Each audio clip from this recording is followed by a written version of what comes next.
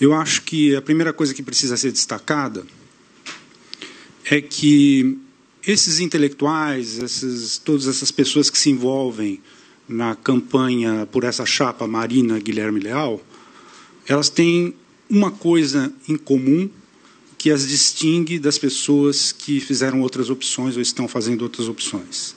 É que nós todos levamos muito a sério um valor emergente que é a sustentabilidade.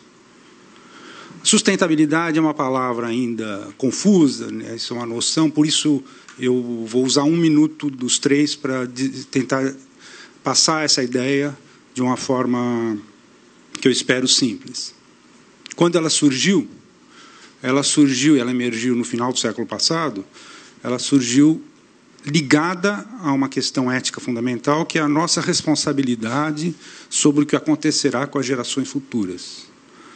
Muitas vezes ela é formulada pelo lado negativo, isto é, não fazer hoje algo que possa comprometer o futuro das próximas gerações. Mas ela tem que ser cada vez mais, e é esse o desafio do programa, enfatizada pelo lado positivo. Nós temos que fazer hoje coisas importantes para ampliar as oportunidades para as gerações futuras.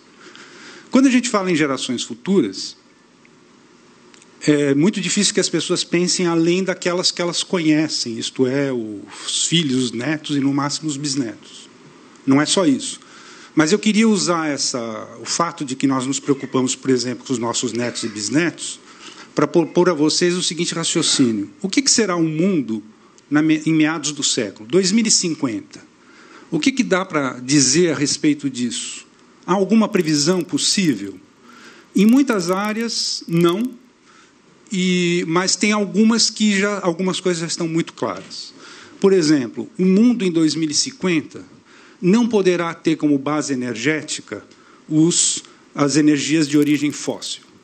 Essa transição estará feita de uma maneira ou de outra. Hoje, o Pentágono já se orienta como sendo a principal questão estratégica para os próximos 40 anos a disputa pelos recursos naturais, principalmente ligados às fontes de energia, por causa dessa dificuldade de superar a era fóssil e fazer com que uh, energias renováveis uh, possam se viabilizar. Há um leque aí grande de energias, de propostas que estão surgindo, de tentativas, de pe muita pesquisa em busca de inovações, e é muito difícil hoje alguém afirmar qual dessas novas possibilidades de energia renovável vai ser a decisiva nesse processo de transição ao baixo carbono, que certamente não estará feito, mas estará muito avançado em meados do século. Uh, em alguns casos, já se pensa que provavelmente, inevitavelmente, será alguma forma de aproveitamento mais direto da energia solar, na medida em que todas as energias, no fundo, são de origem solar, mas, por exemplo, o caso do petróleo é de forma muito indireta que nós estamos usando a energia solar.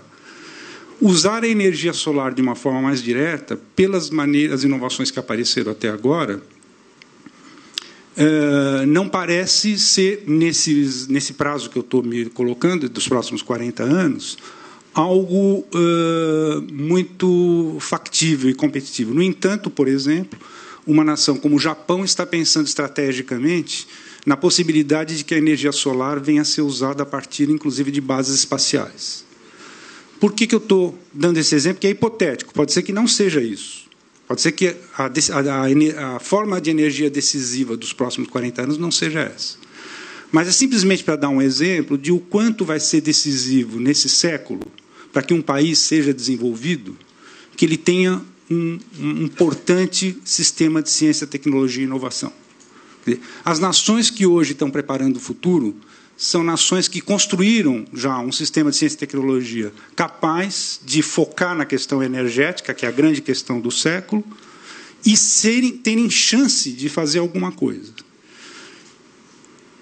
Esse ponto do meu da, da, no, no, no, no, que está nos trazendo aqui sobre a palavra tão dita palavra confusa sustentabilidade é absolutamente central. Se o Brasil não for capaz de ter um sistema de ciência, tecnologia e inovação uh, em condições de enfrentar questões como essa que eu acabei de citar, ele é impossível que ele seja um país desenvolvido até o final do século. E é nisso que nós estamos apostando quando nos dispomos a contribuir para a elaboração do programa de Marina e Guilherme. Muito obrigado.